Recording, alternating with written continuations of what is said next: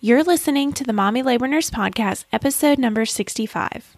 Hey guys, happy Monday. So, I have a very special, cool episode to share with you guys this week. So, this week I had Serena come on the podcast, and Serena is a stay at home mom of two boys.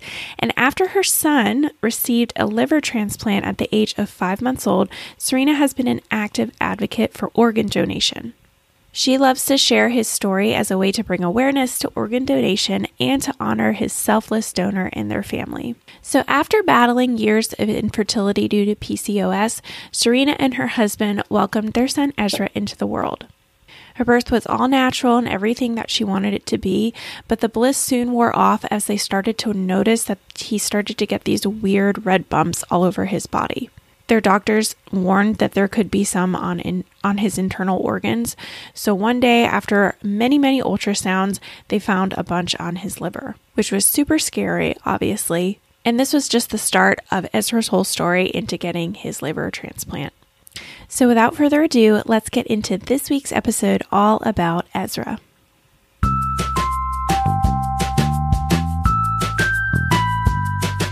You're listening to the Mommy Labor Nurse Podcast, where we firmly believe in the power of education when it comes to giving birth. Tune in each week as we dive into pregnancy related topics, expert interviews, and a variety of birth stories. As a reminder, anything you hear on this podcast is not medical advice. Please see mommylabornurse.com slash disclaimer for more details. And now here's your host, educator, registered nurse, and fellow mom, Liesel Teen.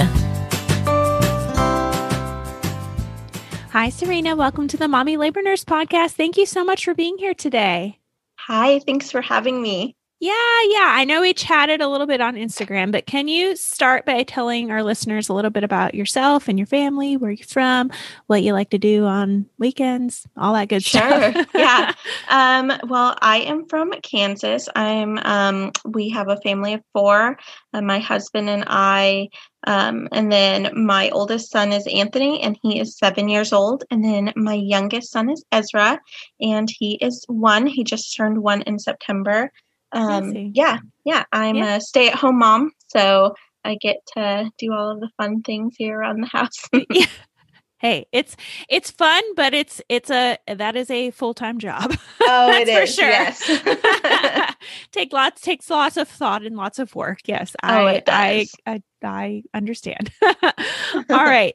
So today, guys, we we were just chatting before the episode, and this is a little bit different kind of episode than what we're used to um, in terms of birth stories. Serena, if you want to start off with mm-hmm. Ezra and his birth and how that went, and then we're actually going to talk more um, about the aftermath and kind of what happened after with Ezra. So if you want to start, um, I guess maybe maybe just you know a kind of synopsis of his birth and then we can sure start talking about everything else yes um so i had a, a pretty healthy pregnancy um i had pcos so mm-hmm. it was a struggle trying to yeah um conceive it took us about three years so we were very very excited um, once we found out that we were going to have little Ezra. Yeah. And so uh, with my first, I had um, I wasn't really educated on on giving birth. I was like, okay, I'll just go to the hospital and I'll just give birth. The nurses will tell me what to do. It'll be mm-hmm. easy peasy. Mm-hmm. Um, I'll get the epidural. It'll all be good. And I realized it's not like that. Um, I did not. Nope. I did not enjoy uh, I guess, the way I went about it with my first. So, uh, with my second, I was all about um, educating myself. I went to uh, a class done by a doula here at our hospital. Nice. Um, and yeah, and I was able to uh, kind of have a, a better birth experience. Um, I gave birth to Ezra. Uh, all natural on uh, September 13th and um, yeah, it was great. It was a really uh, short birth. I was in labor for about three hours, and I pushed for ten minutes, and he was Ooh. here. So yeah, it was a very different story. yeah, briefly tell me uh, uh, since you you use the word compare. So can you tell me a little bit about that first birth, like length, like time length, and Sure. kind of what happened? Just just so I know, just so you know, we can kind of see the the comparison. Yeah. Um, well, with my first, um, I was induced. I was 2 Mhm. weeks over. Um, and so I got the uh, Pitocin, of course, and I was in labor for 16 hours, I Mhm. believe. Um, I got the epidural, and uh, my body just didn't react to it well. My blood Oh. pressure dropped, and it just Mhm. wasn't a good experience. Um, and then, of course, with the Pitocin, that made contractions just awful. Yeah. Um, so it was, it was actually, you know, funny with my second. Um, I was laboring at home for a long time because I was just like telling my husband, like, these aren't nearly as bad as I remember them. Mhm. I can I can labor it out at home longer. And then um, by the time I got to the hospital, I was a nine. So yeah, so they were like, um, okay, it's it's time. Um, so yeah, it was just a, a big difference um, in comparing the contraction. I think. Yeah. Yeah, that's a huge difference. Well, okay, let's transition now and talk more about Ezra. So, something kind of significant after uh, happened right after he was born. So, can you kind of transition there and what you kind of started to notice about him? Sure. Um. So, uh, of course, as as soon as he was born, they placed him on me, and um, I noticed he had a lot of. They looked like freckles, like very faded Mm. freckles all over him.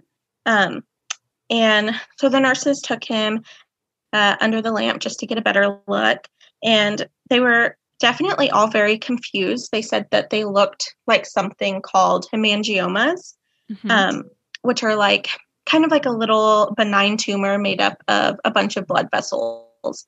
Uh, Mhm. and usually a baby can can have a couple of them, but you just don't see them all over the body very often. Mhm. Um, so they were definitely uh, kind of puzzled by it. Um, and then the pediatrician came in um, not too long after and and confirmed that he was pretty sure that they were uh, the hemangiomas. Mhm. And at this time, they did they did just look like very faded red freckles. Is all I could explain. Like you could barely notice it unless you were really looking. Um, gotcha. but I mean, they were all over his body. Um, and so the pediatrician just kind of warned us that um, sometimes when a baby has, you know, more than like two, uh, they can kind of um, present on, on the internal organs. So Mhm. he wanted to get an ultrasound done the next day. Um, and, you know, he kind of assured us that hemangiomas are fairly um, just not something really to worry about typically. Yeah. Um, so we did that. Uh, he got an ultrasound done at barely 12 hours old. Um. And he uh, he did they did find um, quite a few on his liver. They checked Mm. his brain and his kidneys, you know, all of the the big internal organs, and Mhm. um, you know, luckily they were just on his his liver.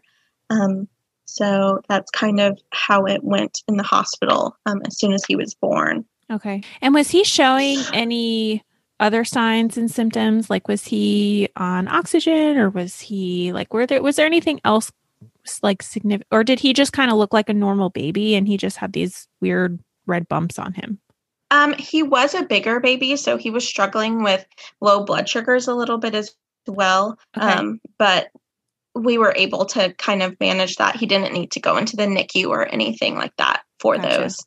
Gotcha. Um, but yeah, besides that, he just at that time he looked like a very uh, normal baby. Um, and so our next step was um, we got referred to our closest children's hospital. Mhm. Uh, so I live in Kansas, and then the closest one to us is in Missouri, but it's only about an hour drive Okay. uh, from us.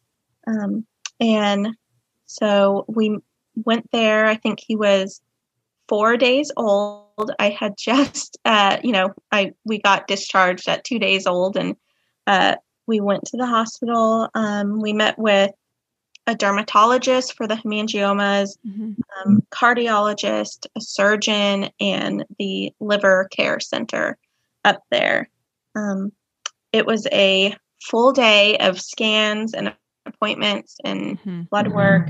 Um, and that age, you know, they're eating pretty constantly. Uh, but it's yeah, hard yeah. because we would have to not feed him so he could get the ultrasounds done. I think it was like four hours, had to fast for four hours. Um, Interesting. Yeah. So that was a very that was a struggle with a, a breastfeeding newborn who was nursing yeah. every two hours. I was just gonna ask if you went the breastfeeding route or if you just started to pump or if you were just like i'm going to scrap this breastfeeding thing and we're just going to try and do formula or kind of your thoughts you know re- yeah, revolving um, that so I was pretty adamant about breastfeeding yeah. um, and kind of the, you know, with as we kind of get into his story more, he did end up having issues with his liver. Um, mm-hmm. And with children who have um, issues with their liver, it takes a lot of effort for them to gain weight. Mm-hmm. And so uh, I would breastfeed, and then I ended up pumping. That way, uh, we could fortify his breast milk mm-hmm. with formula and kind of up those calories. Mm-hmm. Um, but unfortunately, you know, I struggled a lot not being able to bring him, you know, to me to actually feed. Yeah. My yeah. supply dropped a lot, but I kept pumping as long as I possibly could. I think I stopped at about 10 months when he was 10 months.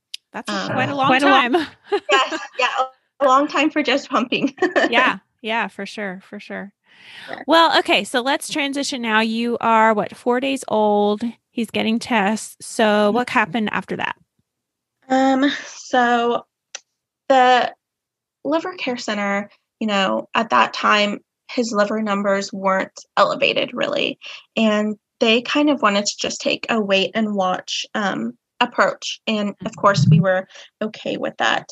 Um, now, the dermatologists were really concerned about the hemangiomas. Uh, at that time, it had only been a couple of days, and they were starting to get brighter red.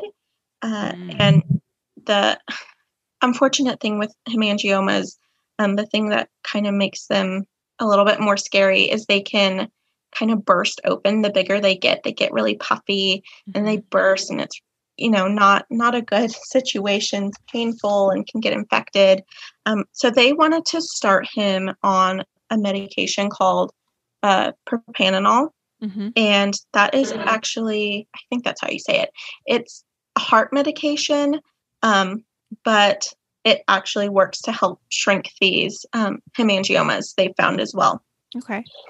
So um, the liver care center and dermatology were kind of going back and forth on this and they decided you know he was only a couple days old let's wait a little bit um, yeah. before starting him on that. So we did um, you know we made sure we, that's why we went to the cardiologist to to see if he if it would be okay for him to start that medicine if he had to. Mm-hmm. um, and he's never had any uh, heart issues thank goodness. So that was um that was okay. And uh, so we would go back every every week for labs and to meet with the liver care center. And i think it was uh, when he was three weeks old we went back and got his labs done. And um, his liver numbers were very elevated oh. um, and so they decided again to bring up the propranolol and they said well let's try it and maybe it will um, also help shrink those hemangiomas on the liver. Yeah. That's kind of what we thought was causing the, the liver to be so stressed out. Um, and so we started that, and we had to be admitted for that just because they did want to watch for side effects. Um, because I think it was like, you know, your blood sugars can drop, blood pressure can drop, that sort of thing. Uh, so he tolerated it very, very well. Um, the medicine helped his hemangiomas on his skin shrink.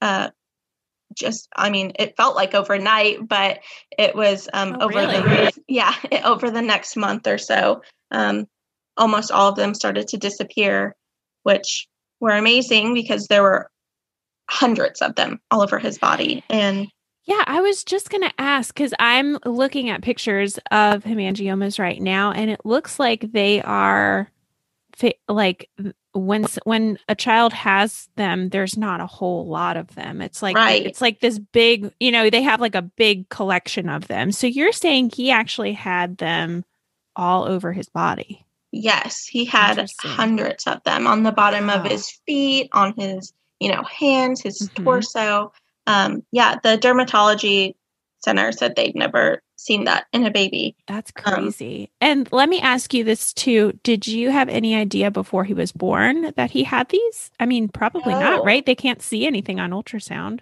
Correct. And, you know, I had a fairly healthy pregnancy. Yeah. So we had the anatomy scan and that was it. Yeah. so we just didn't, yeah, we had no idea. Um, wow. So he tolerated it very well um, and his skin ones disappeared. Um, mm-hmm. Unfortunately, his liver ones they shrunk, but not not enough.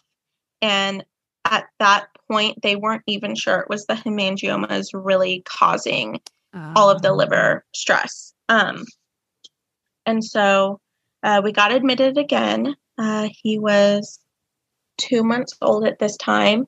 Um, and they completed a uh, HIDA scan, which is when they um, inject like a fluid and they check mm-hmm. bile flow mm-hmm. through the liver.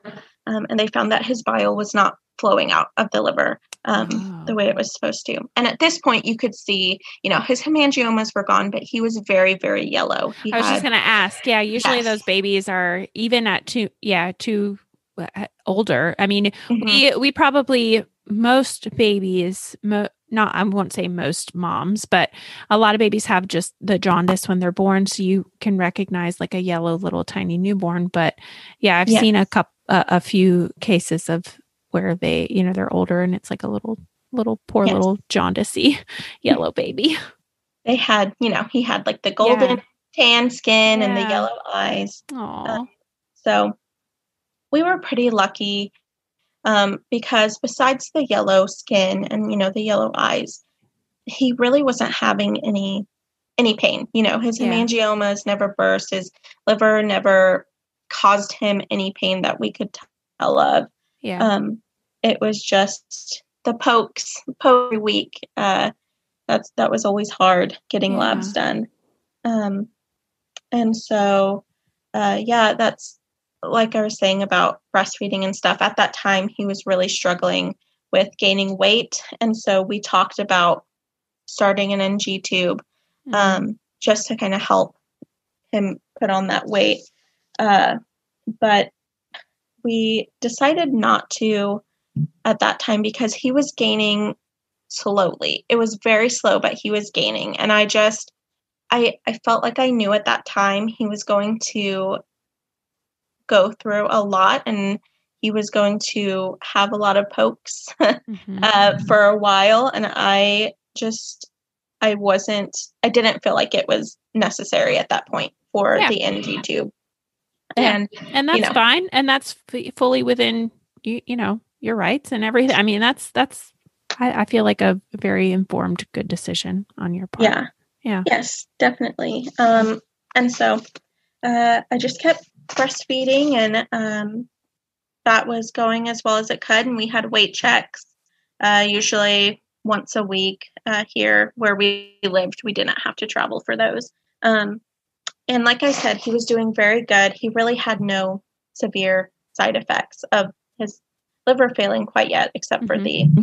uh, color of the skin. Mm-hmm. And then um, when he was three months old, we had our first big scare with him. Oh. Um, he was he had just woken up from a nap, um, and I went to go pick him up, and he was very very sweaty, and he was so cold um, and lethargic. Um, so we went to the emergency room, and um, his temperature was 91 degrees, and his blood sugars were at 19. Oh. Yes. So I think the typical blood sugar is 65 at that age. Yeah. So he was extremely low. I mean, they were they were amazed that he hadn't gone into a coma by the time Arrest, they got him yeah, there. yeah. Yes, because he was um, very, very low. So as soon as we got to the ER and they saw his temperature, because I'd taken it at home Mhm. and I, it kept coming up low, like 96 degrees, 95 Well, yeah, degrees. yeah. If you have like a normal, you know, Yes. thermometer, th- it doesn't even read that low. Right. And I just kept thinking, there has to be something wrong with this. There's no Yeah. way he's that cold. Yeah. Um, and so, of course, as soon as we got to the ER, he got his sugar um, uh, in the IV. Mhm. As soon as we got there, um, he got the sugar gel in his mouth and they put him under a heating lamp. Mhm. Um, and think that was that was one of the scariest moments of our life. As soon Oh, as we yeah. heard those numbers, uh, we were absolutely terrified because he really hadn't scared us like that yet. Mhm. Um, and so we were there overnight, and they got his sugars back up, they got his temperature back up, and he was maintaining very well.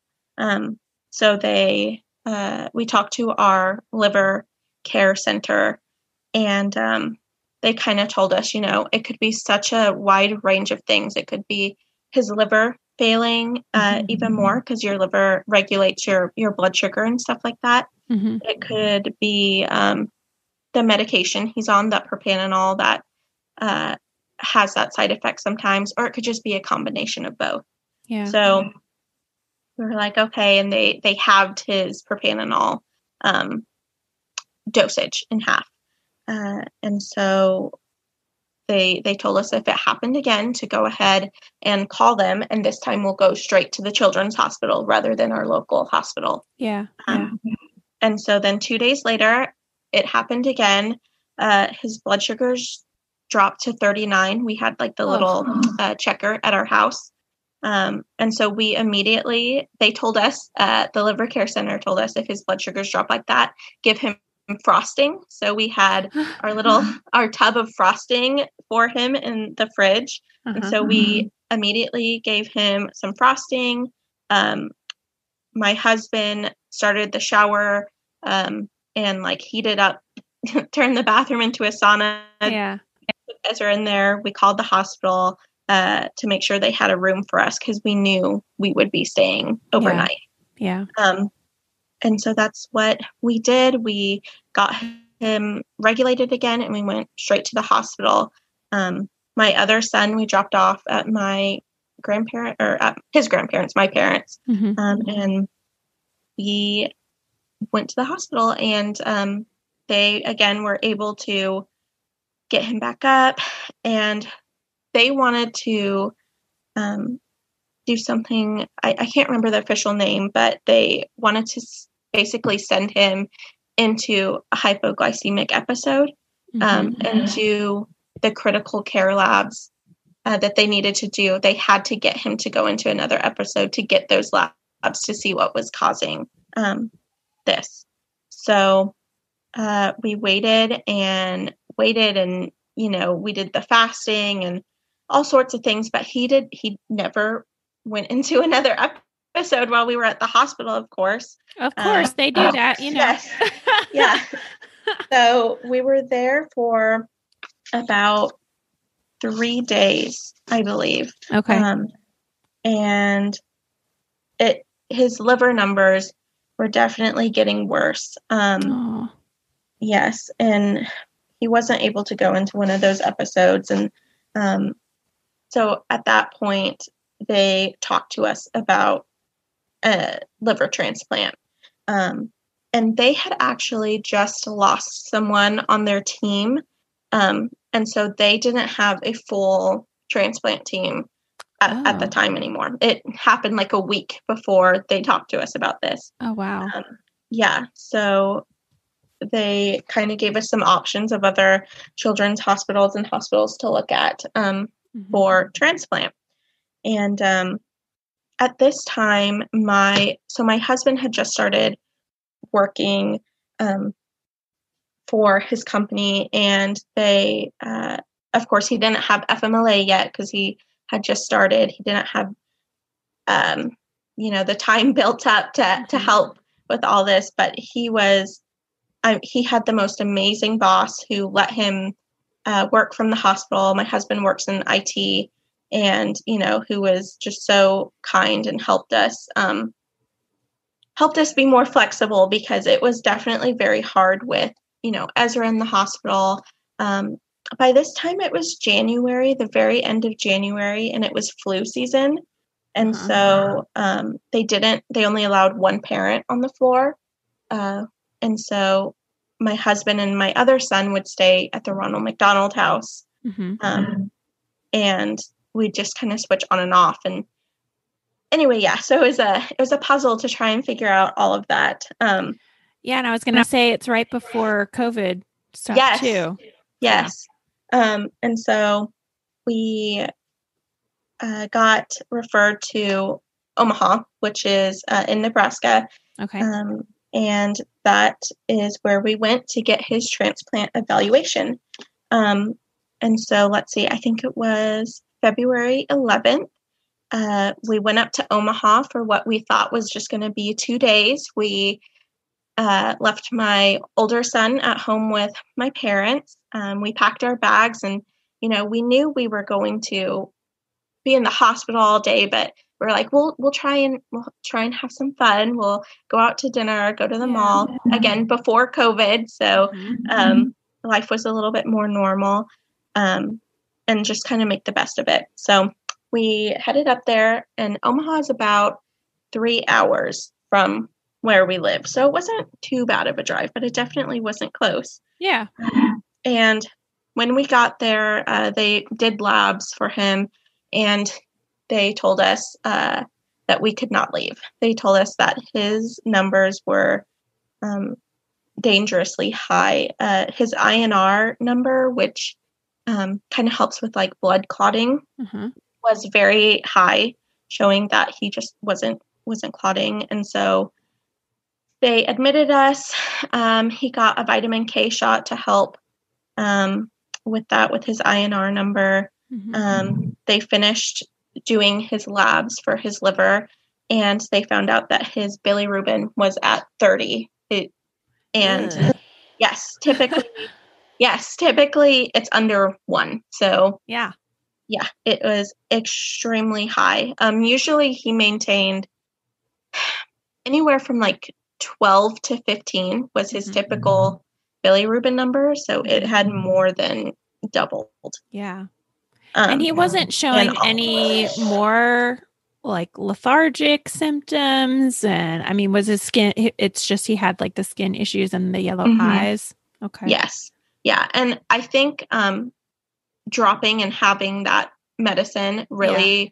helped a lot. Yeah. With making sure he didn't have those episodes again. Yeah. Um, so yeah, they they told us um, that we were just going to do the evaluation inpatient and they kind of expedited everything. It was supposed to take two days and it took, I don't know, maybe two hours to get it all done. Wow. Um, you know, yeah, you have to do the scans and meet with a psychologist to get evaluated and all sorts of things that you don't really even think of uh, yeah. when you need a transplant. Yeah. Um, yeah. Wow.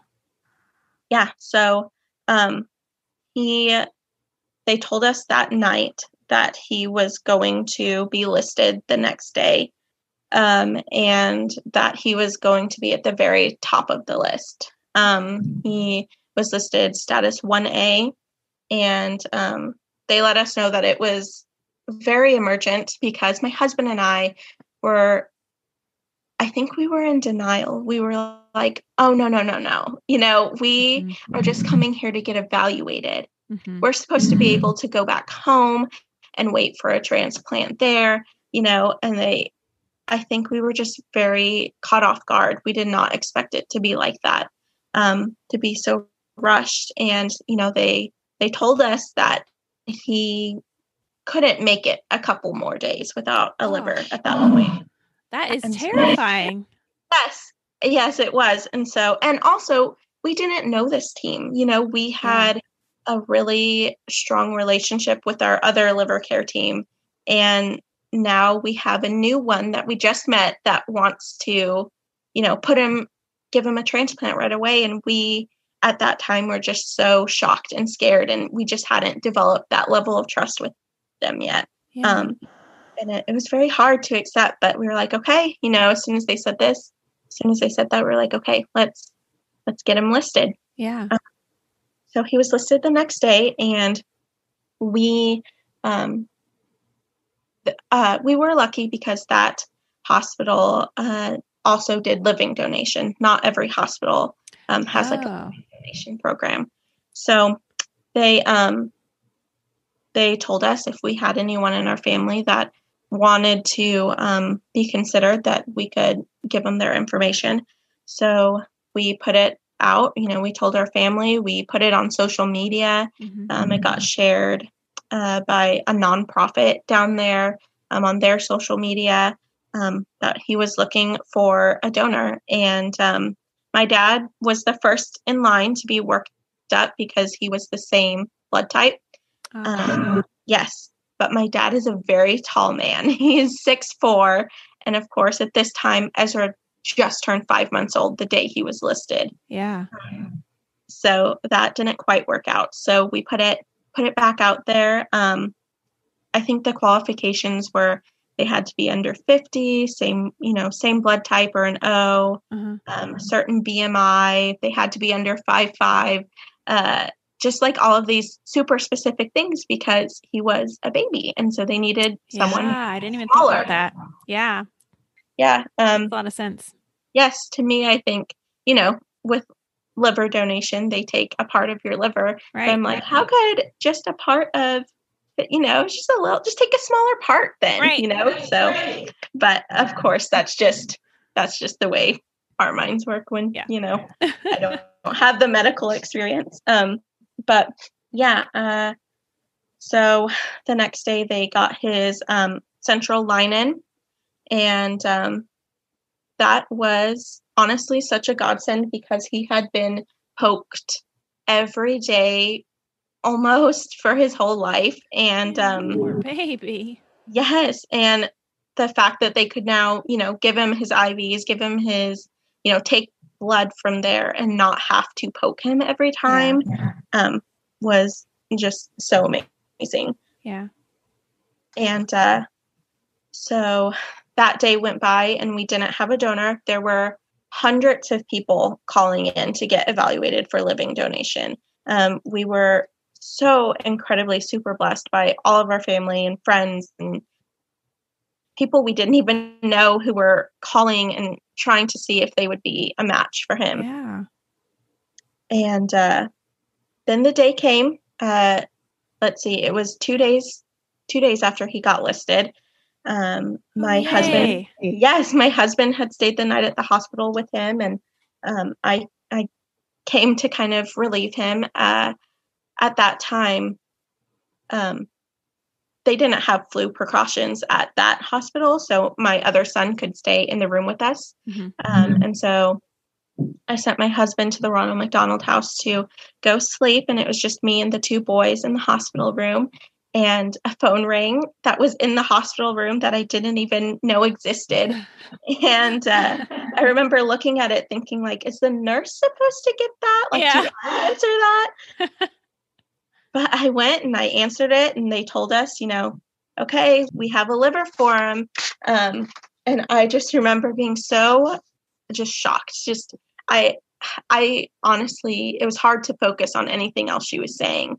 Um, yeah, explained everything, and uh, I was like, okay. And um, I hung up with her, and I called my husband, and he was like, should I should I just come back over? And I was like, no, I think it's probably going to be a while. Yeah. Um, yeah. And so uh, my family started to come up. Again, this was the middle of February, so right before mm-hmm. um, COVID, and there wasn't restrictions.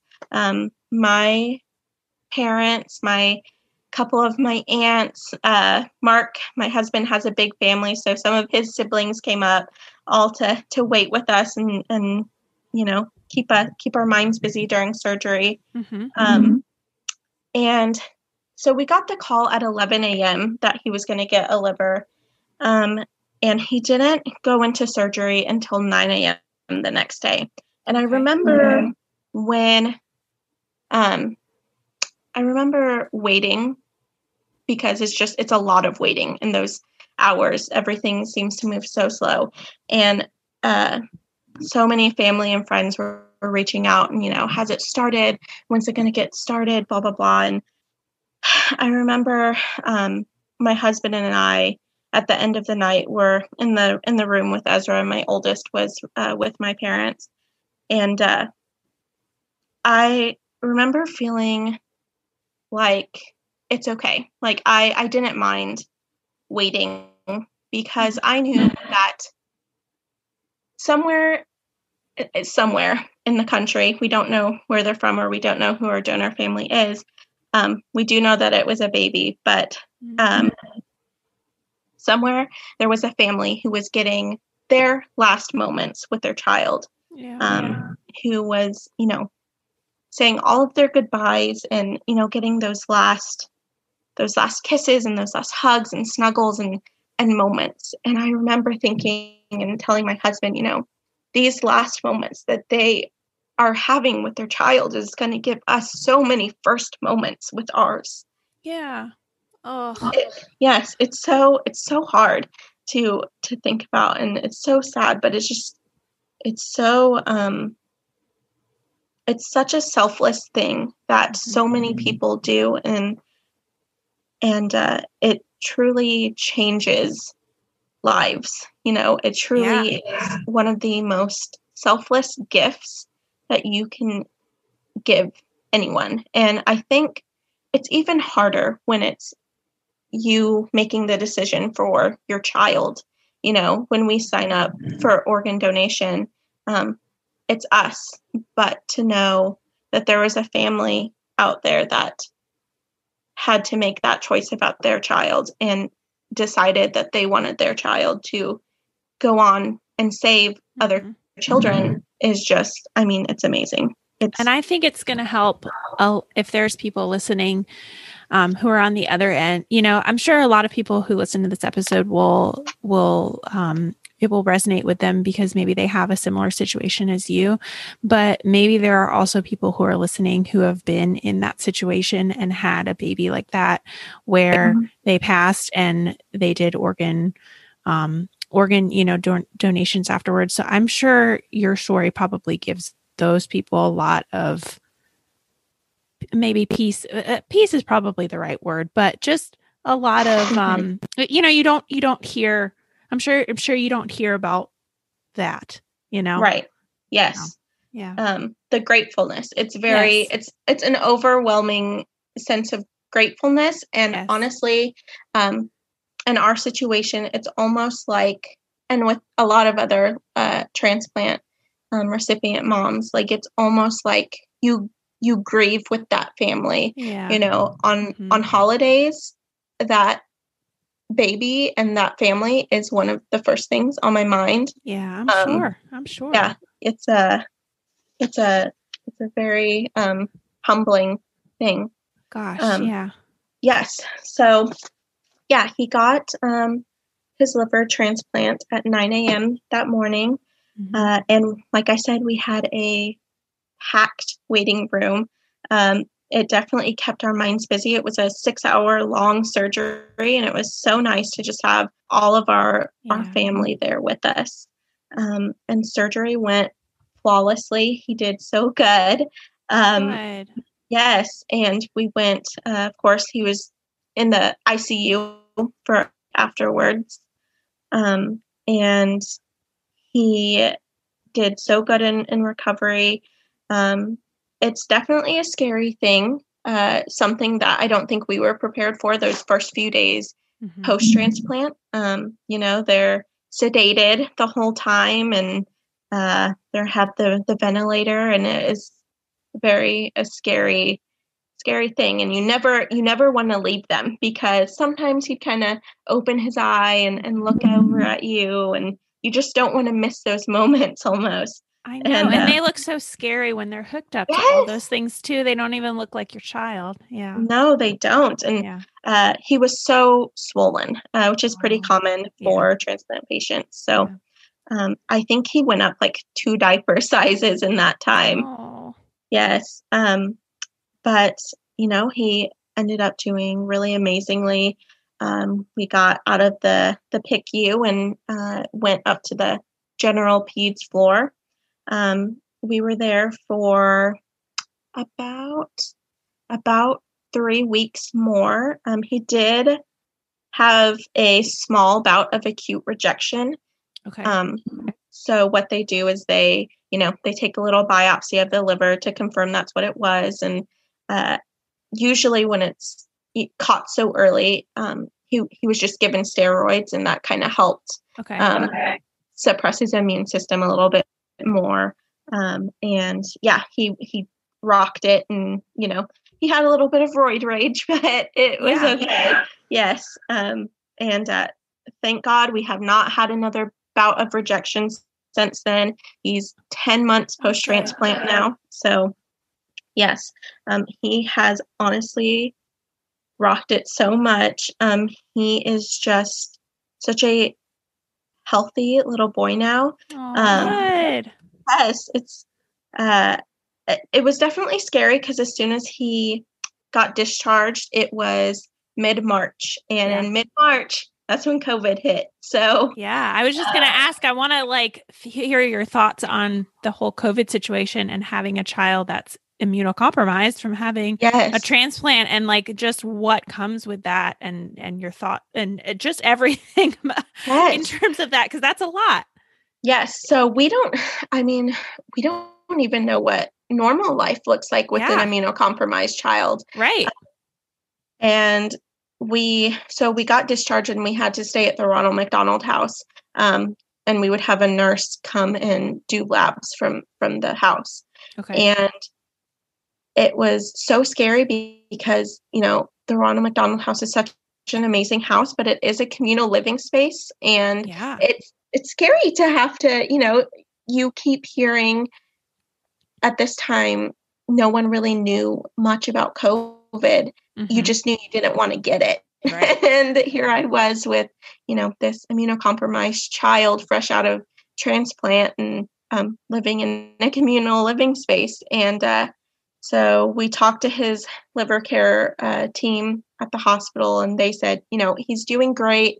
Just go home and be safe and get labs done every week. So yeah.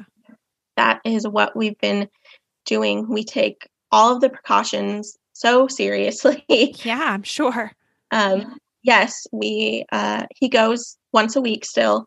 Um, actually now it's every other week uh, to get his labs done at the hospital. Um, but besides that he does not go anywhere in public Yeah. um, we you know we go outside places and go on hikes and do fun Yeah. stuff like that um, you, you know there are definitely some good creative options that i feel everyone has come up with to stay safe oh yeah. Oh yeah. um, but yeah we take his precautions very seriously um, I, I told my husband and i tell my family you know i've seen him on a ventilator yeah. and i don't ever intend to see him on one again no, please no. But yeah, Yes. I think that's a good goal. yes Yeah. Well, uh, Serena, this was such an amazing story. I just have one last question. So you said he is, so if he's 10 months post, so how old is he now? Like He- a year and some change?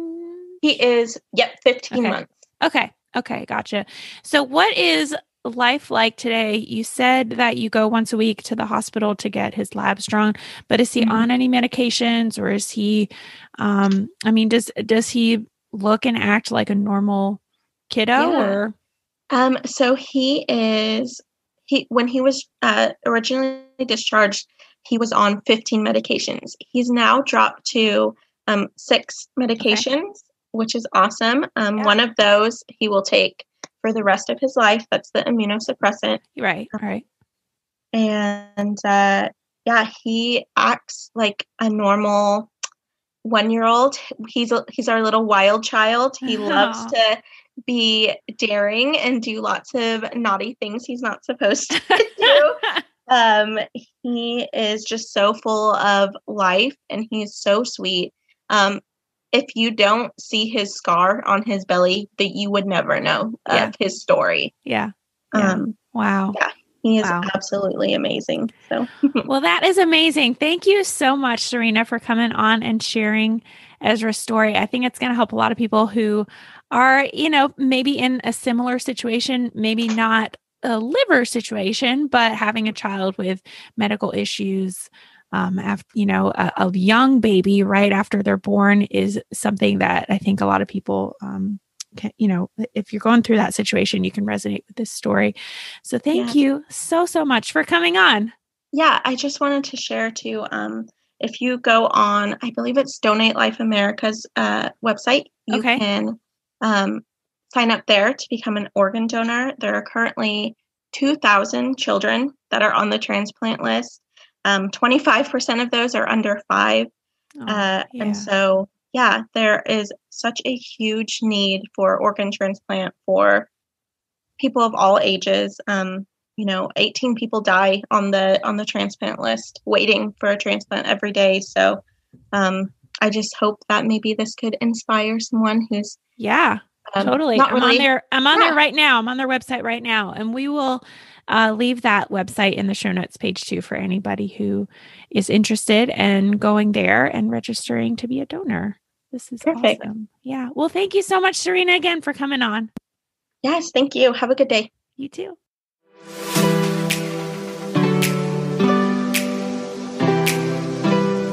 All right, so that is it for this episode of the Mommy Labor Nurse podcast. You probably follow me on Instagram because that's probably where you came from. But if you don't, head over to Instagram and follow me at mommy.labornurse for more. That is certainly where I am most active. I also now have a separate Instagram for just this podcast, so I encourage you to follow my second account at mommylabornurse.podcast as well if you want podcast updates.